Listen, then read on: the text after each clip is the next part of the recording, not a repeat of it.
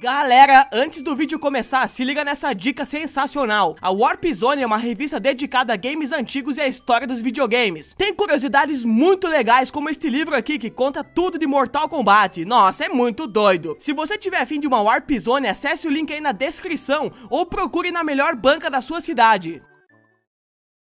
Sweet dreams are made of e aí, meus brothers, beleza? Olha só, muitas vezes quando um game muito aclamado está prestes a ser lançado, acontece a sua pré-venda, que lá na gringa, lá nos Estados Unidos, chamam de pré-order, que nada mais é do que você comprar o seu game antecipadamente. Você compra ele antes do lançamento. Geralmente as pessoas fazem isso para garantir a sua cópia e poder jogar o game a partir do momento que ele é lançado. E também muitas outras pessoas compram essas edições antecipadas porque elas vêm com recompensas, vêm com prêmios, vêm com itens de colecionador para quem acaba comprando.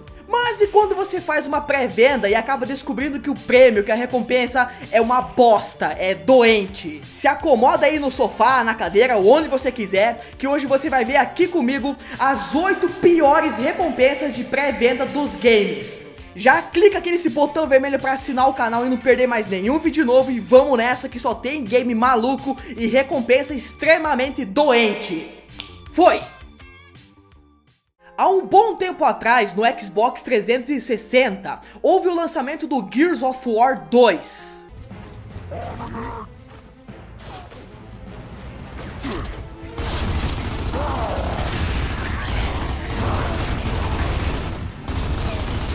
E a Epic Games, a empresa que fez o game, teve como genial ideia de dar como recompensa, como prêmio de pré-order, um carrinho de controle remoto, que é um carrinho baseado no tanque Centauro que tem no Gears of War 2. Pô, aí você fala, mano, um carrinho de controle remoto, isso é muito legal. Não, realmente, na ideia é muito legal. Pena que esse carrinho é um pedaço maldito de plástico da China.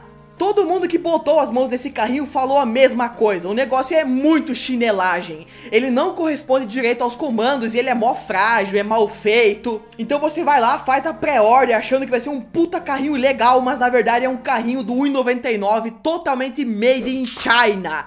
Made in China de um nível que não dá pra acreditar. Em Resident Evil 5, você controla Chris Redfield e sua parceira de combate Shiva, em um lugar da África muito bizarro onde todo mundo quer arrancar um pedaço de você e você tem que meter o pipoco em todo mundo.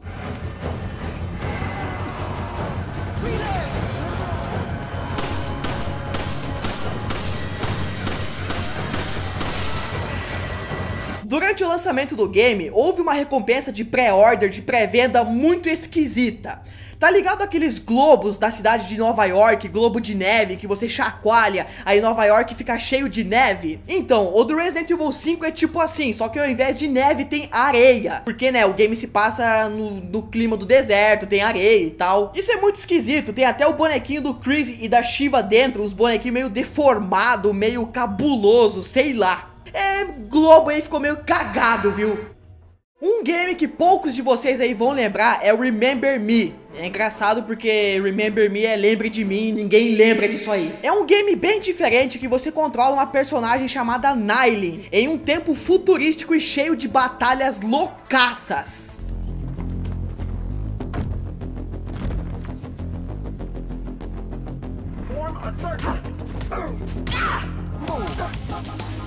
A empresa por trás do game teve uma péssima ideia de recompensa de pré-order. Sabe o que, que eles fizeram? Eles retiraram três golpes de luta, três golpes do personagem que tinha na versão final do game e colocaram exclusivamente para quem tinha feito a pré-order. Você entendeu? Você fazia a pré-order do game e você ganhava três golpes da personagem do game, não tem nada fora do game. Você ganhava três golpes de luta da personagem que a princípio estava na versão normal do jogo. Eles arrancaram fora e botaram para quem só fez a pré-order.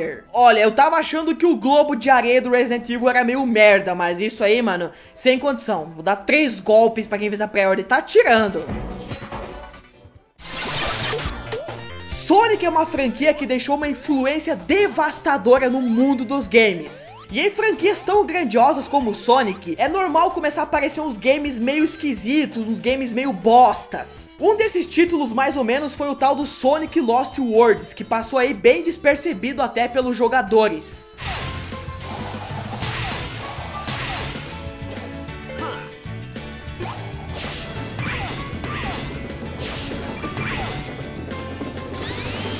O game em si já é vergonhoso, mas vergonhoso mesmo. Foi o prêmio, foi a recompensa de pré-order. Sabe o que que foi? 25 vidas extras no game. Ah! Você acha que eu vou fazer a pré-order para ganhar 25 vidas extras? Você tá tirando? Pega essas 25 vidas e enfia no seu cofrinho! Ô oh, pessoal, e essas recompensas de games não estão limitadas somente a games, viu? Por exemplo, se você fizesse a compra antecipada do console Xbox One, o videogame vinha com uma conquista extra, com um achievement especial dentro dele, que é uma conquista chamada Dia 1, Day 1.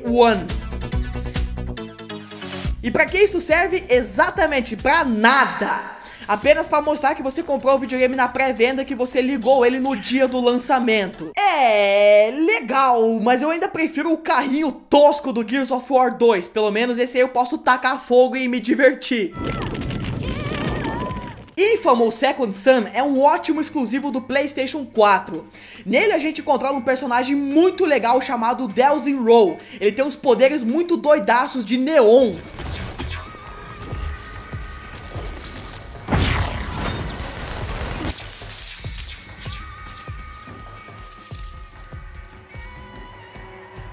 Mas doidaço mesmo, pirado da cabeça, foi a pré-venda desse game lá na Itália.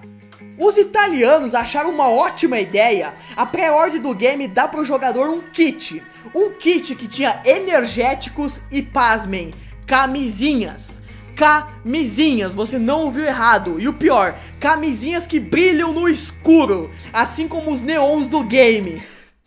Olha, eu tô pasmo. Energéticos, beleza, até que faz sentido, mas camisinhas, mano, preservativos. Você acha mesmo que eu vou colocar esse bagulho verde radioativo no meu Júnior aqui embaixo? Eu acho que não. Será que isso foi alguma espécie de piada, de trocadilho? Tipo, pega a camisinha aí pra evitar que você tenha segundos filhos. Second Sons, o nome do game, entendeu? Nossa, oh, que piada merda. Donkey Kong Returns do Nintendo Wii é um game sensacional. É muito louco você sair controlando o macacão aí coletando as bananas, assim como era antigamente lá no Super Nintendo.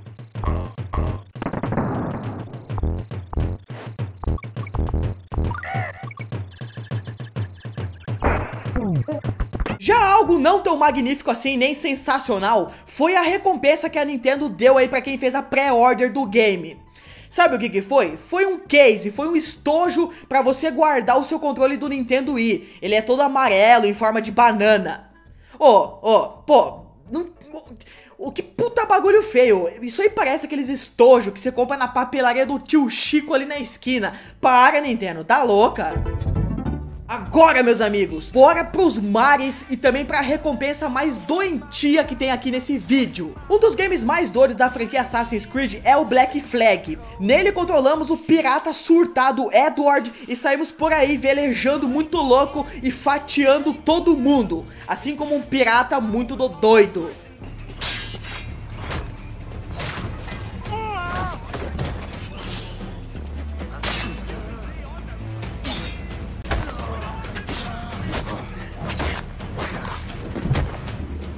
Te fazer uma perguntinha. Você acha que esse pirata joga futebol americano? É uma pergunta idiota, mas a Ubisoft teve a ideia de dar como recompensa da pré-order uma bola de futebol americano preta com o nome do jogo. O que, que tem a ver uma coisa com a outra? Ubisoft, você por acaso fumou crack? A parte mais medonha é que se você tentar achar imagens dessa bola na internet, você não acha. Você acha uma foto cagada ou outra e olhe lá. Parece que a Ubisoft passou tanta vergonha que ela tentou eliminar as provas do planeta que essa bola existiu. Totalmente doente, sem condição alguma essa Ubisoft, ó. Já surtou o cabeção faz tempo.